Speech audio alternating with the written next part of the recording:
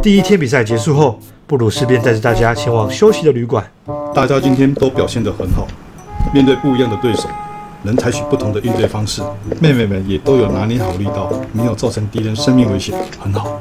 今天真的辛苦了，旅馆马上就到了。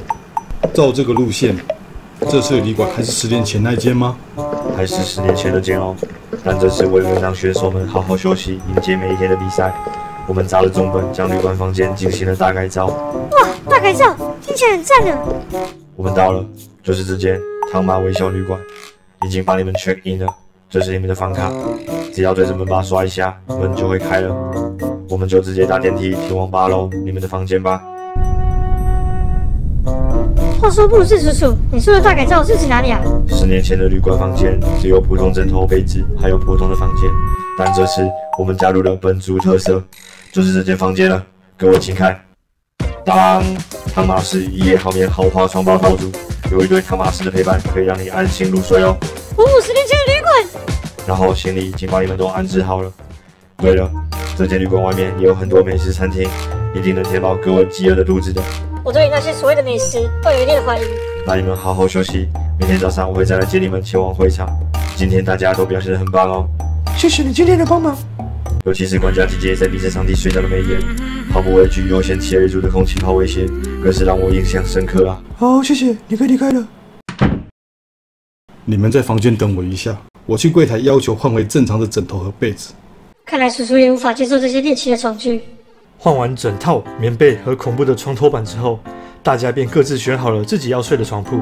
OK，那这几天的床位就这样子定喽。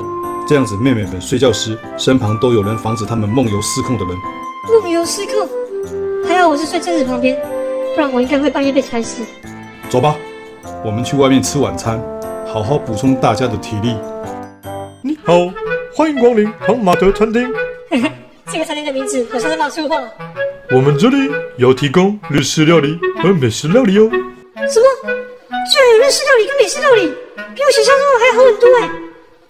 这是你的美式鸡油螺丝套餐，祝你用餐愉快。哇，看起来好好吃哦，谢谢你。看来我们是活不过明天了。怎么办？看菜单，真的没有一个人吃的哎。放心吧，这种时候我们从真实一族带来的东西就派上用场了。哇，是新鲜包装的牛肉上腹肉哎！这里虽然没有我们能吃的，但却能请厨师料理我们自己带来的食材。你好，这块魔龙上腹肉，麻烦帮忙料理一下，谢谢。OK，嗯，叔叔，你是怎么知道这里可以请厨师做料理的呢？十年前我来参加比赛，也是来这间餐厅吃饭，但我吃了两天的螺丝，才有人告诉我可以这样子做。幸好十年后这家餐厅还有在营业。原来是这样啊！哎对，是有两天螺丝，但是没喝掉吗？由于第一天赛程结束比较晚，大家都饿了，所以魔龙上腹肉很快的就被吃得一干二净。酒足饭饱之后，大家就回到了旅馆准备休息。今天大家都累了，待会就好好的泡一下澡吧。Yes，今天流了那么多汗，终于可以泡澡了。